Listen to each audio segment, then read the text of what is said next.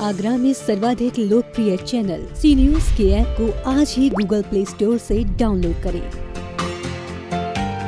आगरा ज़िले में कोरोना मरीजों की संख्या फिर से बढ़ने लगी है। पिछले दो दिन में सैंतालीस संक्रमित मिले हैं। वहीं 24 मरीज़ स्वस्थ हुए हैं। वहीं सात की मौत दर्ज की गई है। अब ज़िले में एक्टिव कोरोना मरीजों की संख्या दो सौ अड़तालीस हो गई है। अनलॉक की अवधि में कोरोना वायरस के नए केस बढ़ रहे हैं। वहीं वीकली लॉकडाउन के दौरान केसों में कमी आ रही है। इससे ये बात साफ़ है कि बाजारों में संक्रमण फैलने का खतरा अब भी है। साप्ताहिक बंदी इसलिए की जा रही है कि सैनिटाइज कराया जा सके, लेकिन असल में कहीं सैनिटाइजेशन होता दिखाई नहीं दे रहा।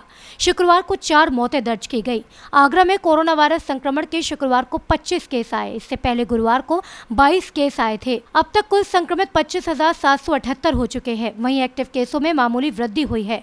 ये दो सौ अड़तालीस हो गए हैं। शुक्रवार को चार और मौत होने से सरकारी आंकड़ों में मृतकों की संख्या चार हो गई।